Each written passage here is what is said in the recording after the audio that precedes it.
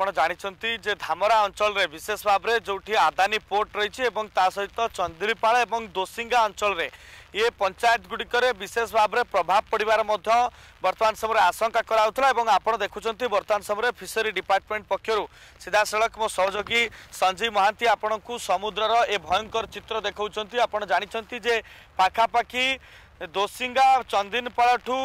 বহু দূরে সমুদ্র থাকে অর্থাৎ পাখাপাখি সমুদ্র পাখক আসিয়া হলে দুইশহ মিটর চালি চালি আসিয়া পড়ে কিন্তু আপনার এই সিধাসলখ চিত্র দেখুন বর্তমান সময় কিভাবে ভাবে বর্তমান সময় সমুদ্রর জুয়ার বড়ুচি এবং বর্তমান সময় পাখাপাখি চাশ রু পচাশ স্পিড্রে পবন বহিবা ধীরে ধীরে আরম্ভ হলানি এবং সমুদ্র কিভাবে ভাবে ফুলুচি তার চিত্র মধ্যে আপনার দেখুম বর্তমান সময় বর্ষা আরম্ভ হয়ে যাই এবং বর্ষার চিত্র মধ্যে আপনার দেখিছেন কাইকি না বর্তমান সময় যে আশঙ্কা করা ଯେ ପାଖାପାଖି ଅପରାହ୍ନ ସମୟରୁ ହିଁ ବର୍ଷା ପବନ ଆରମ୍ଭ ହେବ କିନ୍ତୁ ବର୍ତ୍ତମାନ ସମୟରେ ପ୍ରବଳରୁ ପ୍ରବଳ ମାତ୍ରାରେ ବର୍ଷା ବର୍ତ୍ତମାନ ସମୟରେ ଆରମ୍ଭ ହୋଇସାରିଛି। ଏ ହେଉଛି ସିଧାସଳଖ ଚିତ୍ର। ଧାମରାରେ ବର୍ତ୍ତମାନ ସମୟରେ ବାତ୍ୟା ଦାନା ତାର ପ୍ରକୋପ ଆରମ୍ଭ କରିସାରିଛି। ବର୍ତ୍ତମାନ ସମୟରେ ଆପଣ ଦେଖୁଛନ୍ତି ଧୀରେ ଧୀରେ ବର୍ଷାର ପରିମାଣ ବର୍ତ୍ତମାନ ସମୟରେ ବଢ଼ୁଛି। ଧୀରେ ଧୀରେ ସମସ୍ତେ ସମସ୍ତଙ୍କ ଜିନିଷ ନେଇ ବର୍ତ୍ତମାନ ଯେଉଁମାନେ ଏଠି ମତ୍ସ୍ୟଜୀବୀମାନେ ରହୁଥିଲେ ଏବଂ ଯେଉଁମାନେ ଉପକୂଳବର୍ତ୍ତୀ ଅଞ୍ଚଳ ସମୁଦ୍ର ଉପକୂଳବର୍ତ୍ତୀ ଅଞ୍ଚଳର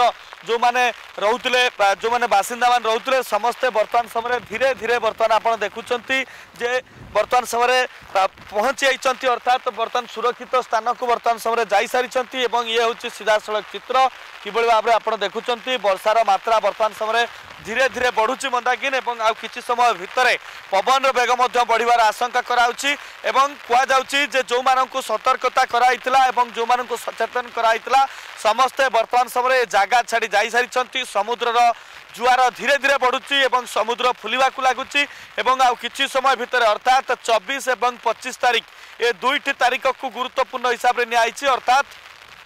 ଗୁରୁବାର ରାତି ଏବଂ ପାହାନ୍ତି। ଏ ଦୁଇଟି ଦିନକୁ ସମସ୍ତେ ସତର୍କତାର ସହିତ ସମ୍ଭାଳିବାକୁ ପଡ଼ିବ ଏବଂ ଯେଉଁଥିପାଇଁ କିଛି ସମୟ ପୂର୍ବରୁ ଆପଣ ଦେଖୁଛନ୍ତି ମୁଖ୍ୟମନ୍ତ୍ରୀ ଏବଂ ରାଜସ୍ୱ ମନ୍ତ୍ରୀ ସମସ୍ତଙ୍କୁ ପ୍ରତ୍ୟେକଟି ଜୀବନ ମୂଲ୍ୟବାନ ଏବଂ ଜୀବନ ରଖିବାକୁ ପଡ଼ିବ। ଧନ ସମ୍ପତ୍ତି ଲୋଭରେ କିଭଳି ଭାବରେ କ୍ଷୟକ୍ଷତି ହେବନି ତା ନେଇ ବର୍ତ୍ତମାନ ସମୟରେ ଗୁରୁତ୍ୱ ଦେବାକୁ ଅନୁରୋଧ କରାଯାଇଛି ଏବଂ ଏନ୍ଡିଆର୍ଏଫ୍ ଟିମ୍ ଓଡ୍ରାଫ୍ ଟିମ୍ ସମସ୍ତେ ଧାମରା ଅଞ୍ଚଳରେ ପହଞ୍ଚି ସାରିଛନ୍ତି। ବାତ୍ୟା ଆଶ୍ରୟସ୍ଥଳୀ ଗୁଡ଼ିକ ବର୍ତ୍ତମାନ ସମୟରେ ପୁରା ପ୍ରସ୍ତୁତ ହୋଇସାରିଛି କିଛି ଲୋକଙ୍କୁ ବର୍ତ୍ତମାନ ସମୟରେ ଇଭାକୁଏଟ୍ କରିସାରିଲେଣି এবং আউ কিছু লোক বর্তমান সময় ইভাকুয়েট করা যাচ্ছে আউ কিছু সময় অপেক্ষা এবং বাত্যা দানা কু সমস্ত বর্তমান সময় প্রস্তুত হয়ে সারিছেন এবং শেষ পর্যায়কু বর্তমান সময় অপেক্ষা করছেন যদি আপনার আমার ভিডিওটি ভালো লাগিলা তেবে আমার চ্যানেলকে লাইক সেয়ার ও সবসক্রাইব করা জমা বি ভুলতু না